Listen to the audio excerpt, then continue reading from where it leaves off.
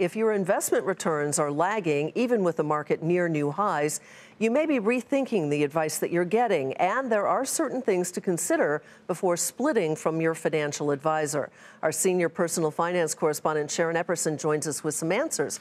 So, what's more most important to investors when they're seeking that advice from their financial advisor? Well, you know, the investment returns, the portfolio value, that certainly provides the foundation. But Vanguard recently did a survey of 100 thousand of its clients who use the personal advisory services.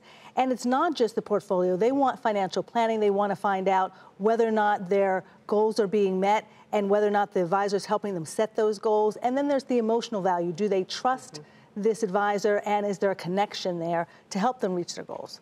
But that doesn't always mean that they're going to leave that advisor. Generally speaking, why do investors end up leaving a financial planner of some kind? It's usually because of a life change, and that creates some type of financial change, whether they're changing jobs, whether they are getting married, having a child, maybe they've received an inheritance. All of these things paint a new financial picture for them, and they want to make sure that the advice meets that. When it doesn't, when it's the same advice they've gotten for the last 10 years, then maybe it's time to make a switch.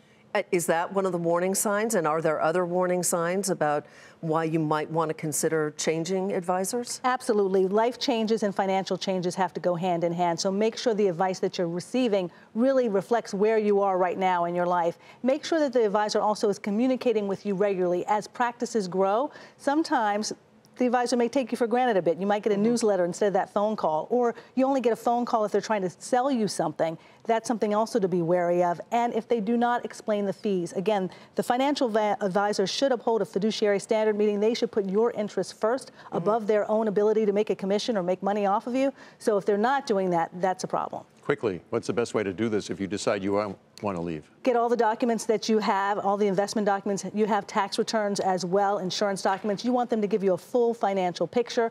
Talk to your old advisor, and if you're still not happy with it, close the account.